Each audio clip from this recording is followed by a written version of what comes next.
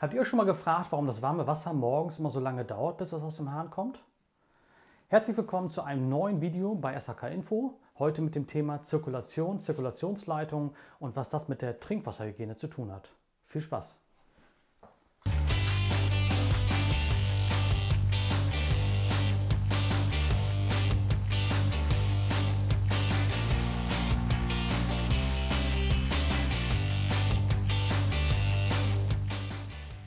Als erstes schauen wir uns jetzt aber mal an, wo geht überhaupt das Wasser her, bis es hier oben an der Zapfstelle warm rauskommt. Um euch das zu zeigen, habe ich für euch so eine Zeichnung mal vorbereitet. Und zwar kennt ja jeder von euch im Keller erstmal euren Trinkwasseranschluss, wo das Wasser vom Wasserversorger ankommt. Das habe ich hier vorne eingezeichnet. Da kommt das Wasser also durch die Rohrleitung kalt hier an und läuft dann in euren Warmwasserspeicher rein. Da wird das Wasser also aufgewärmt auf 55, 60 Grad.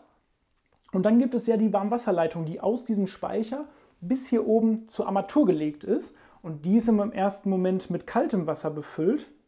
Ich zeichne das mal hier blau ein. Und wenn ihr jetzt hier oben zapft, dann strömt erst das warme Wasser unten aus dem Speicher nach. Das heißt, ihr müsst jetzt das ganze Kaltwasser aus der Leitung erst einmal leer zapfen, bis dann irgendwann hier oben das Warmwasser an der Armatur auch ankommt. Das dauert also eine ganze Zeit. Und damit man äh, das etwas schneller machen kann und vor allem so aus Komfortgründen, dass das Warmwasser schon bis oben anliegt, dafür gibt es sogenannte Zirkulationsleitungen und Zirkulationspumpen. Die habe ich jetzt mal gerade hier eingebaut. Die fördert also ständig das Wasser über eine zweite Leitung wieder zurück in den Speicher. Da gibt es also hier an dieser Stelle ein T-Stück, kurz bevor die Entnahmestelle hier oben ist. Und da zieht die Zirkulationspumpe also immer das Wasser hier raus, fördert es hier über die Pumpe in den Speicher zurück. Und da das über die Warmwasserleitung hier einen geschlossenen Kreislauf ergibt, liegt bis zu diesem T-Stück immer warmes Wasser an, sodass immer nur ein kleines Stück leer gezapft werden muss, bis das warme Wasser kommt. Ja, als nächstes zeigt euch Martin jetzt erstmal, wie so eine Pumpe hier aussieht und wie man sie einstellen sollte und wie das Ganze noch funktioniert.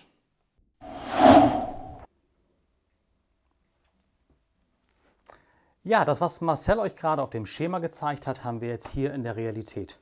Wir haben hier den Warmwasserbereiter, wir haben hier hinten die Warmwasserleitung, die das Wasser zur Küche transportiert und hier die Zirkulationsleitung, die das Wasser zurückführt. Hier unten die Zirkulationspumpe, gerade frisch eingebaut, angesteckert und ähm, ich habe jetzt schon bei einigen Kunden gesehen, das kann ich euch mal als Tipp geben, dass jemand einfach die Pumpe rauszieht, weil er meint, er würde viel Energie sparen.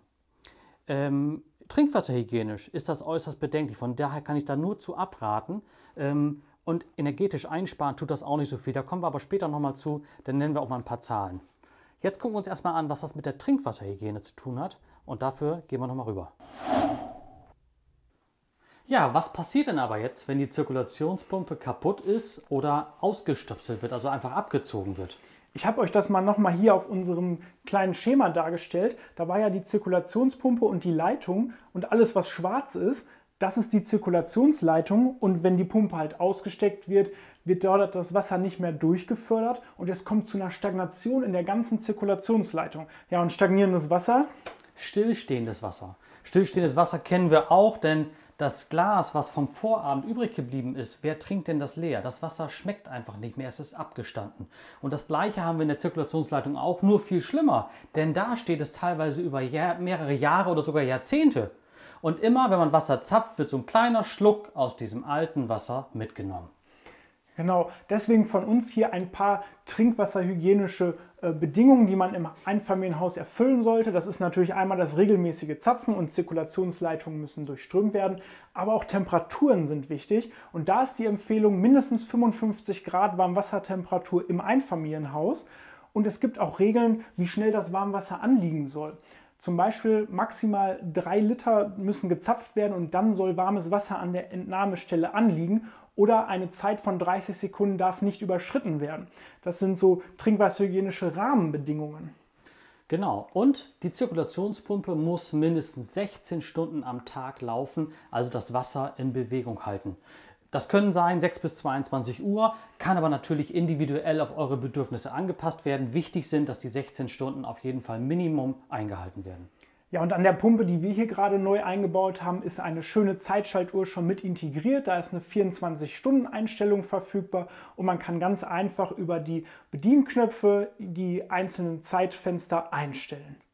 Und wenn ihr Hilfe braucht, zum Beispiel für eure Trinkwasserhygiene, eure Zirkulationspumpe oder ihr braucht eine neue Pumpe, sprecht am besten den Fachanwerker der Innung an. Genau. Den findet ihr auf unserer Seite shk-info.de. Da sind von der Innung mindestens 24.000 Installateure in Deutschland äh, aufgeführt und da ist sicherlich auch einer in eurer Nähe, der eure Pumpe kontrollieren, austauschen kann oder euch dazu beraten kann. Und jetzt zum Schluss zeigen wir euch nochmal, wie viel Energie verbraucht denn jetzt eigentlich die Zirkulationspumpe und wie viel Energie verbraucht die Zirkulation. Genau. Wir würden gerne von euch mal erfahren, habt ihr auch schon mal festgestellt, dass es lange dauert, bis warm Wasser kommt bei euch zu Hause an der Zapfstelle? Schreibt uns eure Erfahrung mal unten hier in die Kommentare rein. Und jetzt schauen wir uns mal die zwei Bereiche an, äh, um die es geht bei dem Energieverbrauch einer Zirkulationsleitung. Dazu gehört einmal natürlich der Stromverbrauch der Pumpe. Und da gibt es schon deutliche Unterschiede zwischen einer neuen Pumpe und den älteren Pumpen. Alte Pumpen brauchen teilweise 20, 25 Watt oder sogar deutlich mehr. Schaut doch mal bei euch auf die Pumpe, wie viel die an Strom verbraucht. Und so eine moderne wie diese hier, die wir jetzt eingebaut haben, die braucht so 5 bis 7 Watt an Strom für die Zirkulation.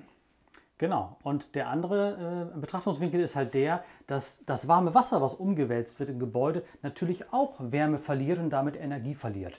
Äh, man kann sagen, dass in einem modern gebauten Haus etwa 10 Watt pro Meter Leitungslänge Energieverlust da sind, aber dieser Energieverlust ist ja nicht verloren nach draußen, sondern er bleibt im Gebäude, da wo wir die Wärme ja sowieso hinhaben wollen. Von daher ist das gar nicht so wichtig. Wichtig ist, dass wir die, richtigen, die richtige Waage finden zwischen dem Energieverbrauch und der Trinkwasserhygiene, nämlich eurer Gesundheit. Schließlich wollen wir ja alle dabei gesund bleiben. Genau, die Gesundheit geht dann eher vor. Definitiv. Ja, und das war's auch schon. Hat richtig Spaß gemacht, das Video. Richtig, genau. Ich hoffe, ihr konntet ein paar Informationen daraus mitnehmen. Hinterlasst uns natürlich ein Like, wenn das so war. Und dann sehen wir uns nächstes Mal wieder. Bis dahin, alles Gute. Bis dann. Ciao.